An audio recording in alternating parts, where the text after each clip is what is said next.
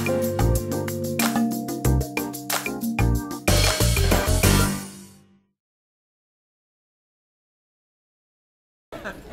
are in the middle, or not quite to the middle yet, of a legislative session which is going to be uh, defined in part by uh, the big budget deficit that you hear about in the news. I want to share with you about that. We got $32 billion to spend. We currently spend 34 billion, and the projections are that uh, by our forecasters that they think we should be spending 37 billion based on a variety of factors. My premise uh, coming into this is this government needs to do what everybody else is doing, and that's tighten its belt. So we need to make sure that government uh, is not growing at a time when the economy doesn't support that, and in fact is unfortunately headed in the other direction. So my proposal is to shrink the state's budget by 2%.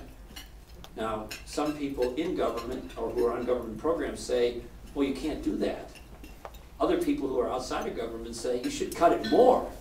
Uh, two percent isn't enough, my goodness, in light of what's taking place in the economy, you should be cutting it five or ten or, or fifteen percent. So for most people, uh, and initially we're saying a two percent reduction is reasonable in light of the economy, in light of all the pressures that everyday Minnesotans and everyday Americans are experiencing.